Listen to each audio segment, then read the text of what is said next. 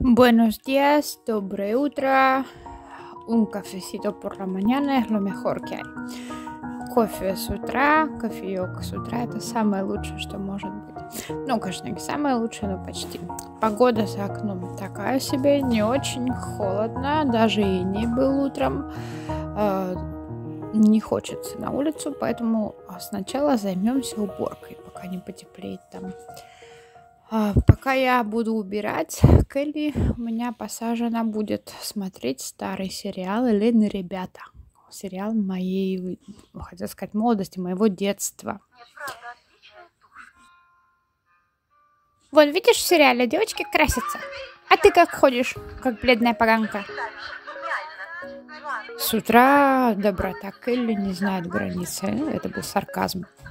Ну вот, надо за уборку, но очень не хочется. Вижу, тут Табата заправляет кровать по-своему, как умеет. А поглядывая на меня, она видит, что мне убирать не хочется. И я так поняла, что она решила, что меня отвлекает сериал. Ну и правда, я поглядывала на экран, сериал был интересный. И Табата решила эту проблему по-своему. Табатенок это табатенок. И Все, нечего сериалы смотреть. А тебе нечего разглагольствовать, если хочешь подписчиками, то ляжками сверкай, ляжками сверкай.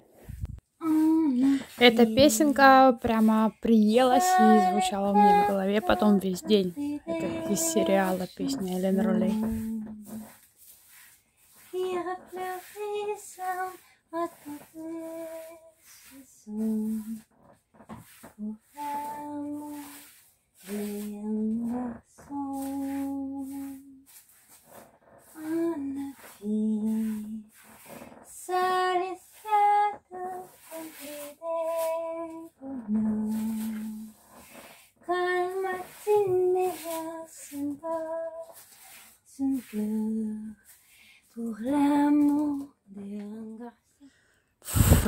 Почему в моих ушах недостаточно много шерсти, чтобы не слышать, как она воет? Про ляжки-то была шутка. Дура глупая. Посмотрев сериал детства, на ночь захотелось немножко попеть, вспомнила эту песню, мелодию.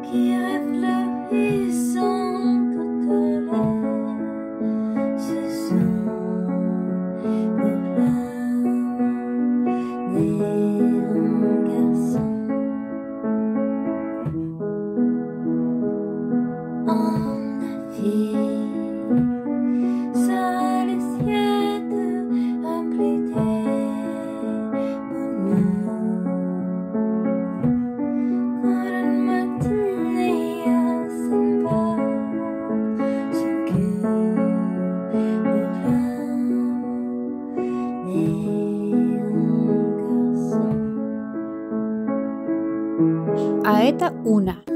А с нее началась моя кошачья история. Вот такая она была маленькая, к сожалению, нету больше фоток. А, сейчас она большая, взрослая, красивая и умная. И однажды она у нас пропала, убежала надолго, ее долго не было, слезам моим не было предела. И когда я уже больше не могла терпеть ее отсутствие, встав к окну, душой как-то, я не знаю, на такой импульс пустила во вселенную. Уна, вернись. И Уна вернулась и с сюрпризом. О них мы потом расскажем. А теперь немножко про Уну. А, здесь мы живем в России, мы переехали в 2014 году.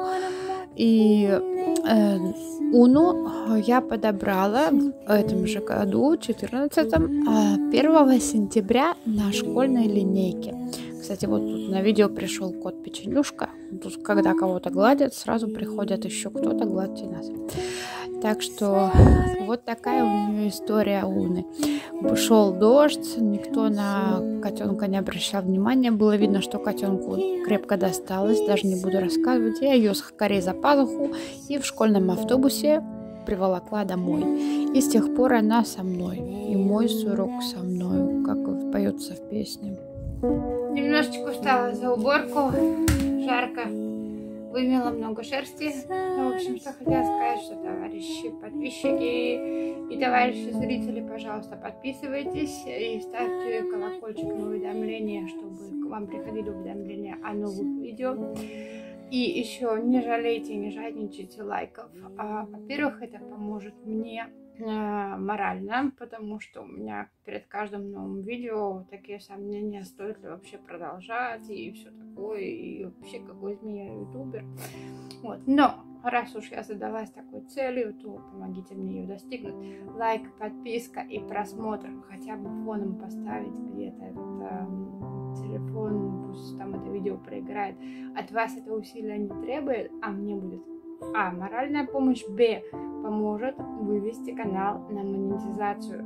Пусть даже я буду там с раненьким каким-то паршивеньким малоизвестным ютубером, но при минимальной монетизации там какие-то 200 рублей в месяц пусть будут, но это э, лишний пакетик кошачьего корма, лишний пакетик Феликса. Во-во, а как зарплату с ютуба получишь, глядишь и расческу себе купишь.